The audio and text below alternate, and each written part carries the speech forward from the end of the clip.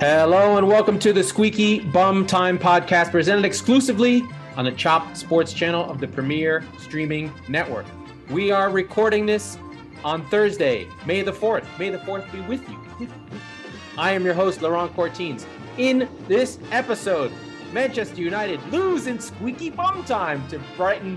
Arsenal pile misery onto an abject Chelsea, and we celebrate Napoli winning the Scudetto for the first time in 40 years. But first, Big Sam is back and what we can learn from new old managers.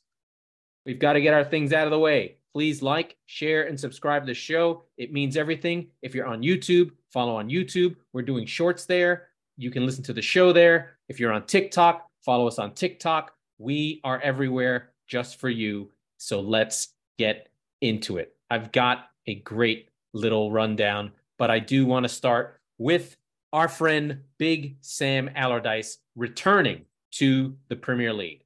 Uh, for those of you who may not know, Sam Allardyce is a very traditional English manager. Uh, he's from he's from the north. He's got a thick accent and he's a big man. Uh, famously kept Bolton in the Premier League from 99 to about 2007. Famously brought West Ham up um, when they had gone down, and they've been in the, in the league ever since. Famously, would claim that he had never gotten relegated.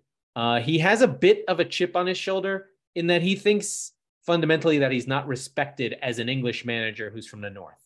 So in his press conference, oh, he's taking over for Leeds, who just fired their manager Javier Gracia, um, and they needed to fire him. But I do want to give you the backstory on on on Allardyce, who's famous, who's just one of the characters of the league and one of the things that makes the Premier League so interesting. Um, these larger than life characters and beings, especially the managers, who we don't have that much access, and we want characters. And Sam Allardyce is one of those characters. In his press conference, he said that he was as good as Pep, as good as Klopp, as good as Arteta in terms of knowledge, uh, not better, but as good. And I thought about that for a minute, and I thought, you know, there's a little bit of a disrespect for English managers, rightfully so, most of the time. Look at look at uh, Brendan Rodgers, who's Irish ultimately. Look at Potter, who just got sacked. Look at Steven Gerrard, who is terrible. Look at Lampard, who is terrible. Uh, so some of it is earned, but I think we should go back and sort of respect some of the older managers who who've forgotten more football than a lot of people. Um, as much as Klopp and Pep and tactics are interesting, it's still the same 11 players moving around in the same formations. Um, we give a lot of credit to Pep for doing innovative things, but let's be frank what he innovated this season was going back to the WM, which was by Herbert Chapman in the 1930s. So there's not much to innovate. And Sam Allardyce was an innovator. When he was at Bolton, he was the first to use statistical analysis. He rightly identified long balls for his team that suited his team. He used psychological profiles. He um, he used statistical analysis. He used sports science, all that stuff. And he really had Bolton in Europe a couple seasons. So he's a very progressive manager, but in the guise of a traditional English football man. And he has his work cut out for him at Leeds. Leeds currently sit only on goal difference out of the relegation zone and had just finished giving up the most goals in a month uh, in the Premier League. Gracia seemed burnt out, seemed resigned to being relegated. Already has done an, an interview on The Athletic, like, hey, yeah, it was tough. And there's a lot of stuff going on behind the scenes with a lot of these clubs. I think the interesting thing is with Roy Hodgson coming in and Sam Allardyce, and you know we're seeing and and at a, to a lesser extent we saw Neil Warnock come in at Huddersfield down in the championship and rescue them from relegation. These are these older English managers who are northern who have made their life football and they they don't get a modicum of respect that I think that they deserve in that they know the game, they know their country, They know what it takes in these situations. So when I say these situations, I mean relegation fights, getting stuck in, playing for the shirt, bringing that Englishness that I think um, really is a key factor in winning the Premier League. You've got to have Englishness. You cannot win in England without Englishness. And that's fight, desire, getting stuck in, understanding the rain, cynical fouls. Just each league has to embody its country. And I think one of the things that's interesting, and, and I'll and I'll get it, we'll get into the results of the week because it was a weird match week. One of the things that I think about with uh, Pep this season and City this season with Haaland is as much as Pep Guardiola and the English football institution, which Sam Allardyce is from, he has changed in terms of tiki taka and, and fancy football. English football has changed Pep. What are we seeing this season with City? Four men at the back, winning games with headers, a big number nine, getting crosses in, 4 4 2, WM. So he's reflecting the culture back on itself. And I think this city side and ultimately is going to win because of its Englishness and because of its fight and because of its spirit. And that spirit, fight, and Englishness is going to be a theme throughout this episode because there are teams that have it and teams that don't. So let's get to it. This week was interesting. Uh, we had a game on Monday, which I covered. We had a game on Tuesday. We had two games on Wednesday, and we just had a game today. We'll go through uh, the games through via their importance. So let's get to it. First, uh, on Monday, sorry, on Tuesday, Arsenal defeated Chelsea 3 1 at the Emirates. And let me tell you something about this game. Oh, no kidding aside, this was the worst performance I've ever seen by any high level team in my life. Frank Lampard should be fired or the team should be fired. This Chelsea side gave absolutely zero fucks about winning this game. They were played through, they didn't run, they didn't close down, they did absolutely zero. And within 35 minutes, Odegaard had scored twice and Gabriel Jesus had scored. And this game was over. Aubameyang played the number nine. Inexplicably, he gave up on Chelsea once Tuchel was fired anytime he plays, he does nothing and gets pulled off at halftime, which is exactly what happened. That is a mark on Frank Lampard. What are you seeing in training that you think this is a good idea? Um, Raheem Sterling did nothing. Noni Madueke, one of the young players, he actually worked hard. I thought Sterling was trying the midfield of Fernandez, Kante, and Kovacic, nothing. Uh, Kante was doing his Conte things, but no one was working with him. They just was nothing from this group. They even dusted off the corpse of Cesar Azpilicueta, who shouldn't have been playing on this team three years ago. And the fact that he gets dusted off and plays is shocking. Um, there's there's an indictment here on Chelsea that is beyond fairness or possibility. They may not win another game. There's nothing in this team that says they care or want to care. And I think it's really important to sort of recognize the levels of this team. Let's go through some of these guys. Aubameyang is an international for his country, Gabon, via France. Raheem Sterling is a England team regular up until this last uh, World Cup. Um, Enzo Fernandez won the World Cup in the midfield, was young player of the World Cup for Argentina. Uh, N'Golo Kante, two-time World Cup champion. Mateo Kovacic plays regularly for Croatia in a midfield with Luka Modric. Cesar Azpilicueta, Spain international, many caps. Wesley Fofana on the England squad. Thiago Silva, Brazil's captain, and Ben Chilwell, who missed the World Cup from a knee injury, along with Kepa Arrizabalaga, who has been in Spain. This is not a bad Chelsea squad of individual players but it is the worst team in the league. They have no co- cohesion. We use a term a lot, right? We have a lot of uh, a lot of DEI stuff, right? We have anti-racism. Chelsea are an anti-team. Everything about them is disconnected. There's no fight for each other. There's no movement to help each other. There's no support when a player is on the ball that they come to. They don't see passes before. There are no steps before. There are no patterns of play. There are no plans that have been relayed to the players or that are getting through to the players that this is what we're going to do. That they scored a goal is a shock, and Chelsea and Arsenal had already given up. That's Chelsea. That's how bad it was. Frank Lampard should walk away, frankly, because he's never going to work again if he continues with this team. On the Arsenal side, they do come back into it. We do see Jakub Kiwior, the Polish uh, young player, finally getting into the side for Holding after Gabriel, thank God, was able to come back in.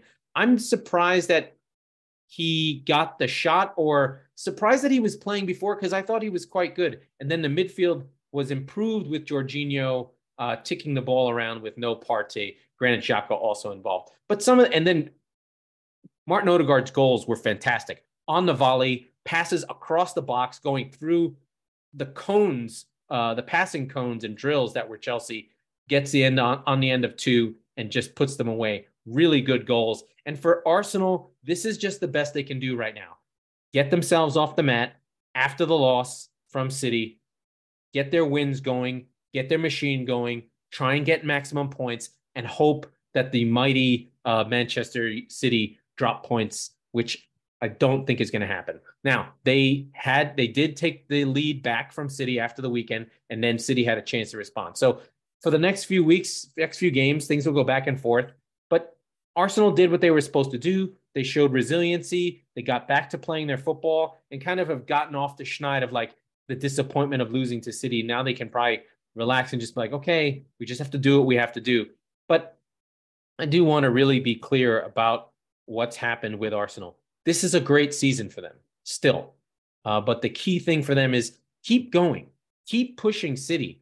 I think what everyone wants is don't give this league to City because you ba- backed out on the league. Push it till the end, never give up. People will remember that. I think people respect the Liverpool sides that lost to City in those two seasons because they never gave up. They didn't blow it. They just sort of the points dropped here or there, but they they never down tools. They never lost their energy. They always tried to win. I think Arsenal should stay in that vein, and they do have a very, very, very tough fixture in that they do have to go to St. James's Park and try and get something from Newcastle this weekend. And we'll go through the games later on as we go through it. But a good performance overall for Arsenal, and they should feel proud about where they are. Um, easy, easy game. Did what they do, get their three goals, and then shut the whole thing down. Easy stuff there. Um, only item was, you know, Gabriel did come off a little injured, but nothing, nothing too bad there. Um, Kai Havertz came on, Gallagher came on, Mudryk came on. Nothing changed from um, from Chelsea. They did nothing. They are awful and might not win another game again. I really mean that. It's that bad. It's a freaking catastrophe and that bad. So, Chelsea fans, cover your eyes because it's getting worse before it gets better. So, within the title race, City maintain our top position. We, uh, City, do defeat the great and powerful West Ham at home. Uh, it was tougher than I'd expected, but City were really in control of this game. Although West Ham did make it hard for about a half, um, but I don't. It didn't. I didn't feel worried. There were moments early in the game where I was like, "When is this goal going to go in?" Because uh, Rodri had a pat, had a shot that literally just rolled across the front of goal, uh, hit both posts or curved around the goal. Pretty incredible uh, off the woodwork there. John Stones off target. Uh, a lot of stuff that you felt like maybe City had a shot at, but you know, Ederson had to make one good save versus uh, Bowen in the first half, but City were in control, and um, you felt like it was inevitable. But it was a worry. I thought that you know um, the back three of the three at the back of West Ham made it hard. Ogbonna had a good game, got his head on everything uh, until uh, late in the game when things got a little bit trickier for him. Um, Flynn Downes came in for um, Declan Rice and played a good game. Young player uh, that that um, that Moyes brought in, but on 50, cometh the moment, cometh the man. Foul outside the box. Incredible cross from Riyad Mahrez. Nathan Ake back in the side his first game. He puts it in, incredible stuff. Then, you know, City are very happy, very proud. Big moment for the team. We're feeling good. Uh, but then, of course, Grealish on the break off a turnover from Bernardo Silva, passes it into Grealish. Grealish holds it, draws draws the defense. They're on the break. Erling Haaland through the middle, times his run, chips the goalkeeper. It's gorgeous. He does his restful pose and scores his 35th goal in the Premier League, setting the record for the Premier League. This is Erling Haaland's first season, and he has set the record for goals in the Premier League, breaking a uh, record set in 1994. So if I did the math, that's almost 30 years, a 29 year old record. So uh, kind of a big deal. Uh, I like to put these things in context. Um, you know, I don't know. I, I, I think about like other sports records, and you kind of just go, oh, you know, things like that. This is like 1994. This is when the Bulls were winning championships. That's how long that goal record has stood.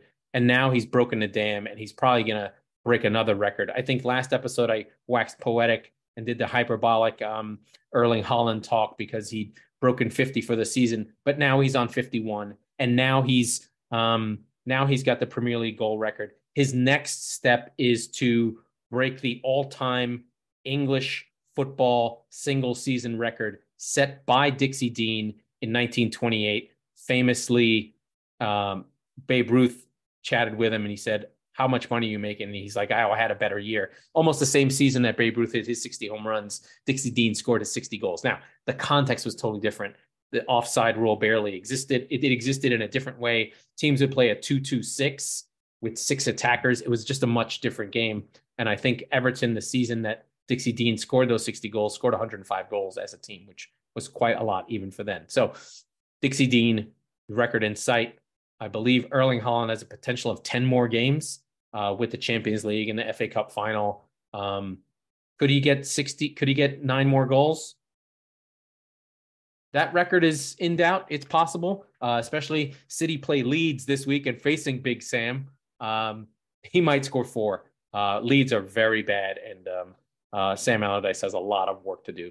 But uh, City play well. Um, for West Ham, uh, this game, they didn't score a goal. They're still on 34. They're not quite safe yet. They're four points above the relegation zone. So they're kind of on the periphery uh, of it. They're one point, a win, two draws away from safety. It's been a bad season for West Ham in the league, but I've talked about them a lot this season. They've just been kind of unlucky. Bowen didn't really quite hit his heights.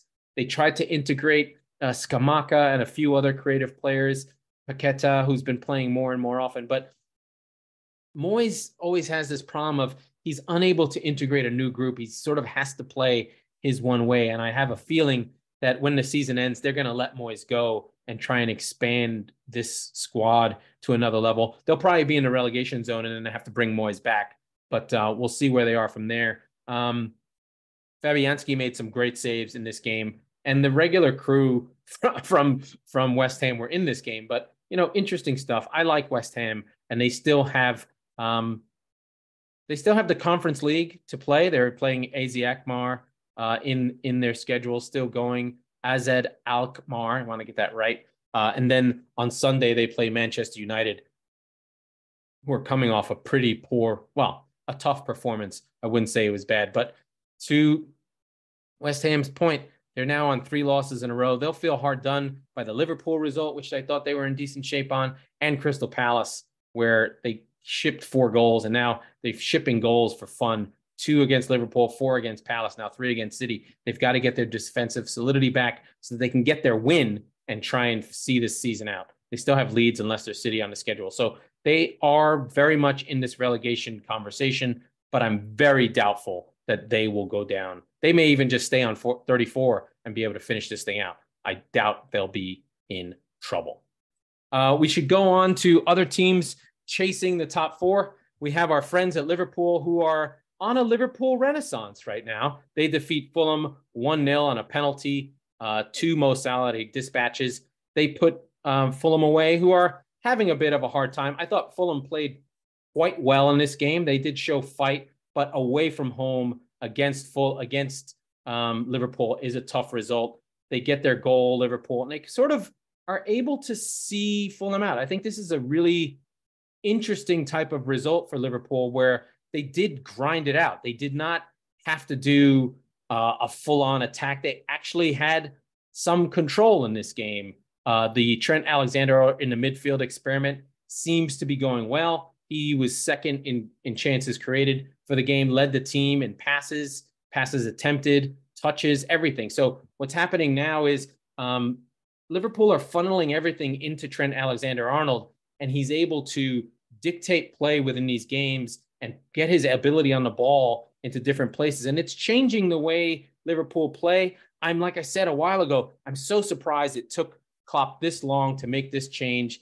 It seemed as though he was never going to make a change. I guess he had to wait and see how it was until everything was done. And now he feels good about where he is. But I think another thing that's sort of changed this thing is Luis Diaz being there. There's a lot more solidity. There's a lot more, lot more options the up front, all the, the, the front four are all there now. You've got Jota rotating in and Nunez rotating in, and Gakpo seems to be a player that Klopp really likes. Seems to make a difference every time he comes on. So a lot of interesting stuff going on with Liverpool as a new group. They try and regenerate with Harvey Elliott and Curtis Jones, and they're going to let James Milner go with you know a lot of young players. They're still pretty young. You know, we have to remember Trent is only 24. He's got a long way to go. I think they probably have to start thinking somehow about Van Dijk, who's now played way too many minutes, is going to be 32. He's not a superhuman anymore. He's just a good, sorry, a very, very good top level defender, but he's not interplanetary anymore. And I think there has to be a little bit more solidity there uh, that they can figure out. But this is a good step for Liverpool. They can feel good about where they are. They're pressing that top four space that if any team like Manchester United really falls apart, they're there to pick up the scraps. Um, but they look locked on now for the Europa League. They've got a good chance of getting that spot. And I think from some of the lows that um, Liverpool have felt, they'll feel really good if they can get a, a, a Europa League spot and then have that double chance of of getting to where they want to get to at the end of the season. I'm just looking for the for the remaining schedule of of Liverpool. I just want to sort of go through it uh, and just make sure we see where they are. Right now, they're on 59 points, sitting solidly in fifth with the great and powerful um, Brighton right behind them because, you know, Brighton are the best. They still have Brentford at home, Leicester away, Aston Villa at home, and then they round the season out away at Southampton. So tough games, but doable. I think Aston Villa will be tough. Leicester City will be fighting for their lives, and then a home game versus Brighton isn't so bad. But they are now on a five game winning streak, unbeaten in seven after they had lost to Manchester City and really effectively put their top four chances out the window. But, you know, they are in decent shape. They, you know, they took, they took, they took that loss to heart and moved forward from there. So good stuff there. Things have changed. Liverpool looking up So there'd be some optimism going into next season if they can get their signings right, if they can get Mac Allister from Brighton over the line. If they can get another midfielder like Caicedo, maybe two, maybe three, maybe a defender, just give some tools and some clay for Klopp to play with that he can figure out what to do and regenerate the team. So good stuff all around there for the great and powerful Liverpool who move through and uh, get near the top four. But we have to talk about the game of the day just today. Today, today, today, Man United go away to Brighton. Brighton wins 1 0 on a VAR assisted uh, handball result that uh, Alexis Mac Allister put away in the latest scored goal in Premier League regular season history in the 98th minute. Um, they get their goal. Uh, it was a fantastic game. Just whenever Brighton are playing, you know, you just have to watch them. They're fucking fantastic. They took it to United. Uh, it went down to the end into 90 plus nine minutes, so the 99th minute, the 98th minute, when the penalty was actually taken. Just a fantastic, fantastic, fun game. Um, the boys were taught, we were all chatting with each other during the game and just how great this game was. And it was nil nil. And how we need to really, like, for the neutrals and people who aren't big football fans, you see the result and you're just like, it's nil nil. You've got to tune in because this game had fight Lewis Dunk and Antony getting into it. Uh, there's a picture here of of these teams. They had just played each other in the FA Cup and had another result uh, between each other. There was a lot of bad blood, a lot of holdover. Uh, I think there was vengeance on Brighton's mind. So a lot of getting stuck in. Um, the the referee let a lot go. I think it was Andre Marriner. He kind of took an old school view of this and just like, you know what, boys, you guys are playing. So they did go and play. It was open. There were fouls. People were getting stuck in, tackles flying in. Just a really fun and enjoyable game that um, that I could not recommend more. It was nil nil, and it didn't matter. That midfield of Alexis Mac Allister, Billy Gilmour, and Billy Gilmore, along with Caicedo, uh, a funky funky lineup. But Caicedo played fullback, but then moved to the inside after um, uh, and Ciso came off the field. Just a lot of different moving parts, and you know Brighton never ever stopped going for it. Never ever gave uh, United a sniff, and they got their just rewards in the end with the handball into the box. Uh, Luke Shaw, who is doing great as a central defender, filling in for Harry Maguire. I don't even know if he's filling in for Harry Maguire. He's the central defending pair with uh, Lindelof. So they're, those guys are working their asses off. They're still playing with the four uh, the four fullbacks because you've got Wan-Bissaka on the other side who went to war again with Mitoma. Great battle between those two. Just a fantastic little uh, attack there. Uh, they kept on showing him to his left because they were so afraid of Mitoma coming in on the right. But Shaw puts his hand in the air. Nobody sees it. But then the Brighton players are really protesting. Um, and um, you can see it on VAR clear as day. Andre Marriner goes to the monitor. All he has to see is the arms up. Bingo. Call the penalty. There's nerves. I'm so nervous in this game. It was a really fun, great game. And just one of these moments where if you watch the whole game and you weren't a football fan and you just held your breath for a minute, you would find yourself just being in love with this game. It was a fantastic nil nil result. Uh, Mitoma, Antony had great chances to score goals, and then a lot of sort of half chances. Welbeck, um, Casemiro had a couple of good shots. Solly March skipped across the box at more than once after he came on, was unable to get his shot off, but Dave was making saves. Uh, and and um, uh, who was in goal and and Steele, yeah, Jason Steele made a lot of good saves. Just a great, fun game that uh, everyone can enjoy. And of course, the result gets resolved in the great and powerful squeaky bum time for real. You just thought United might pull it out, but today was Brighton's day and they deserved it. Uh, what a great team. If you haven't watched Brighton, please just just do yourself a favor. Just watch Brighton. Their next game is um their next game. Brighton has Everton next at home. They should be able to tear Everton apart. Everton's going to come desperate and really try and come after Brighton, but uh, they still have extra games. They have a bunch of games in hand. They have to make up a game from match week 25 and one from 32.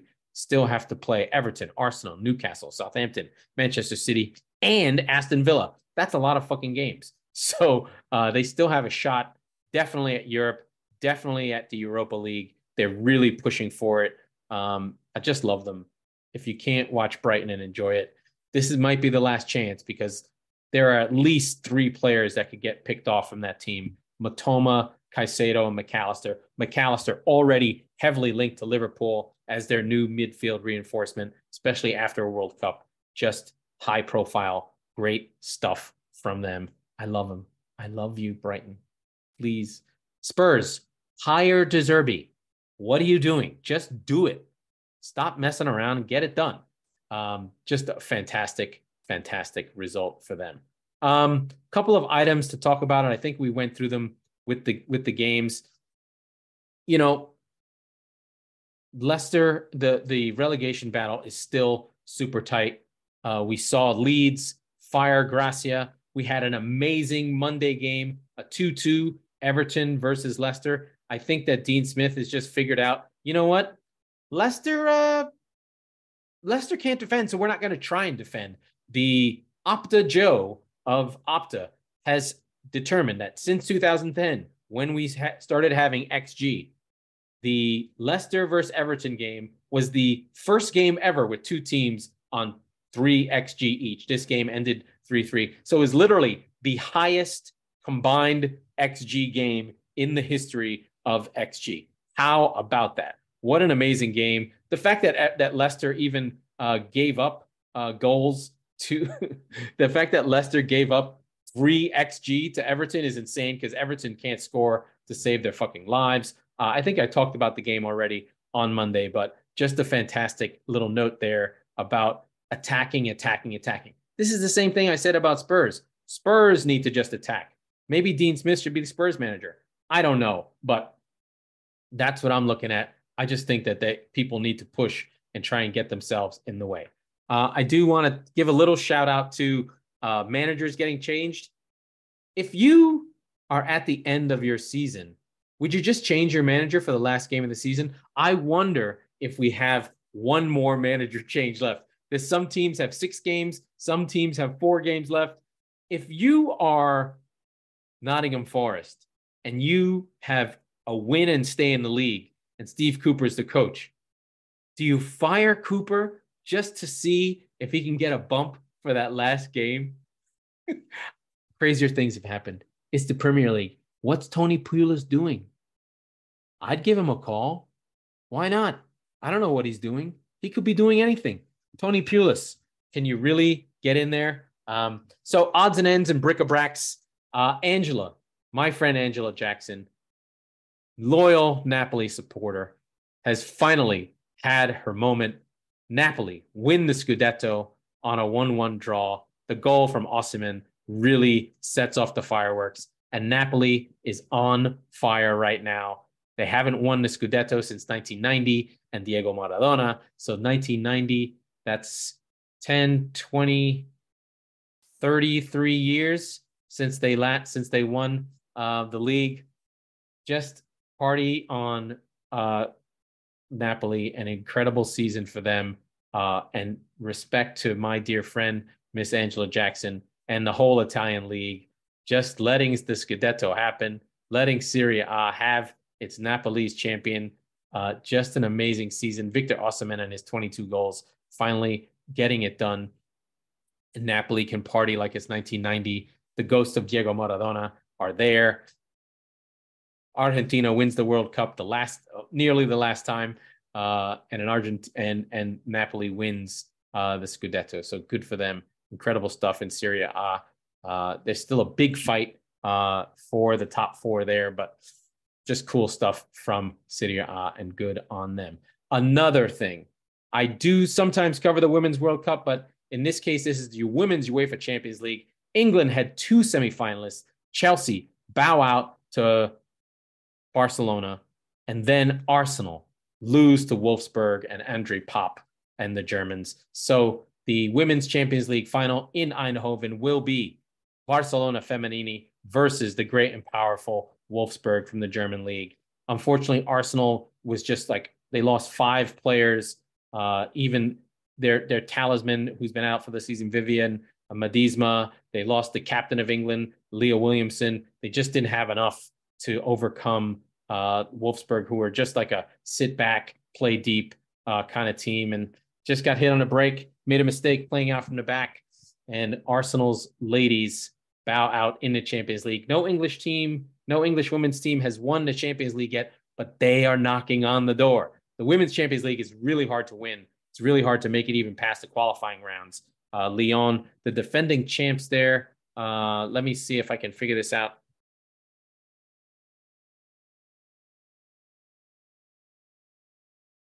Uh, let's see. UEFA Women's Champions League. The final is June 3rd, Barcelona versus Wolfsburg. Barcelona are defending champs in the last round. They in the last year they defeated Chelsea. I believe Barcelona are. I'm gonna make sure that I. Oh no, this is not the right thing. Uh, oh, here we go. Barcelona are undefeated again. I think it's their third season in a row undefeated. They're they've only given up five goals all season, uh, scoring 108. It's not a real league right now. Why the Spanish Women's League has 16 teams is beyond me, but um, undefeated, 26 played, 26 won, 100 gore, 108 goals scored, five against. Barcelona women the most dominant team in all of world football, going for a back-to-back uh, UEFA Champions League winners. The men may be a mess, but their women are holding on and being super strong. So cool for that. We'll all be rooting for Wolfsburg because everyone loves an underdog uh, in in these games. So cool stuff there. Uh, last little piece of items. Yep, let's just go through the weekend. Looks like this. So we do have the coronation of King Charles II or the third. Charles III, uh, Elizabeth's son, getting coronated as king. Lots of drama there. I could give a flying fuck. But what it means is there is no early game on Saturday. And then we have a nice slate at the 3 p.m. kickoff, which will be on television in England. There are no blackouts. No blackouts. So Saturday looks like this Tottenham play Crystal Palace at Tottenham Stadium. Wolves host Aston Villa, a Midlands derby uh, of a sorts there. Bournemouth hosts Chelsea. Chelsea, if they lose to Bournemouth, Frank Lampard should go walk into the Thames and disappear. City play the ever powerful Big Sam led Leeds uh, at home. This could get ugly. And then Liverpool in the late game on Saturday do host Brentford. On Sunday, the big one is Newcastle hosting Arsenal. That will be a massive game. If Arsenal win that, and they have to, we'll still have a title fight. Then West Ham will be hosting Manchester United. Uh, West Ham still looking for that point. United's form away from home has been terrible, and they have been dropping points and things here and there. So our City, I mean, sorry, Man United do need to get a win. Uh, they their their top four is not so connected that they can't that they can just start mailing things in. Then on Monday we have an amazing super relegation fight Monday. Fulham hosts Leicester City. Leicester City will probably get something in that game because they're flying high and have better coaching. Then Brighton hosts Everton. Everton played well against Leicester. Like I said, they had those three and a half goal um, XG, but didn't score enough. And then the mighty, you want to talk about a must win, a must win of must win proportions on the bank holiday Monday. Nottingham Forest hosts Southampton at the City Ground. Come on, you tricky trees. If Nottingham Forest can win this game, they will take a giant leap forward into the relegation safety. We're going to find out on Monday, on the bank holiday Monday, who is serious, who is going down, and who has no shot. Uh, I'd expect a result for Nottingham Forest and a result for Leicester City. Uh, Everton, I'm not sure what's going to happen to them away from home, but this will be a third game for Brighton in seven days. So we can see some sort of fight. There wasn't that too much rotation. So Monday's games will be massive, and we'll cover those right as the show ends, just like this one is going to end. That was the Squeaky Bum Time podcast with Laurent Courtines. We are the football wing the Chop Sports channel and presented exclusively by the Premier Streaming Network. We record on Mondays and Thursdays, so be sure to subscribe wherever you get your podcast so you never miss an episode. And if you're listening on Apple, please rate and review the show because it means everything and everyone and everywhere. And thank you, Angela, for watching to the end.